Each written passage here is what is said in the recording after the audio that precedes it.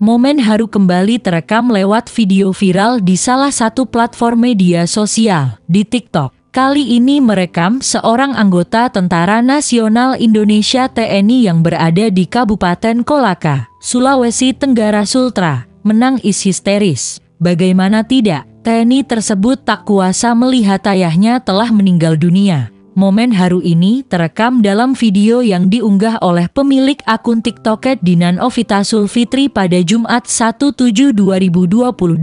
Dalam video berdurasi 23 detik tersebut, terlihat dua orang lelaki berlari memasuki rumah. Salah satu dari lelaki itu berseragam TNI, sedangkan yang lain mengenakan kaos hitam. Sesampainya di dalam rumah, keduanya terdengar mengeluarkan suara erangan. Saat itu mereka melihat ayahnya telah meninggal dunia. Dalam videonya, Ed Novita Sulfitri menuliskan bahwa peristiwa mengharukan tersebut menimpa keluarganya. Saat dihubungi Tribun Neusultra.com, Ed Novita Sulfitri mengatakan, peristiwa tersebut terjadi di Kelurahan Sabilambo, Kabupaten Kolaka, Provinsi Sulawesi Tenggara. Iya, kejadinya di Kelurahan Sabilambo, Kabupaten Kolaka ujarnya dihubung via telepon. Wanita dengan nama lengkap Dina Novita Sulfitri tersebut menjelaskan bahwa TNI tersebut mendengar kabar ayahnya meninggal dunia ketika menjalani tugas di luar daerah. Diketahui bahwa TNI tersebut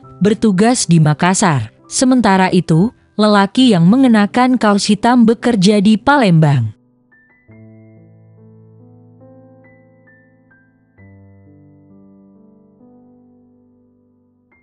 Terima kasih sudah nonton. Jangan lupa like, subscribe, dan share ya.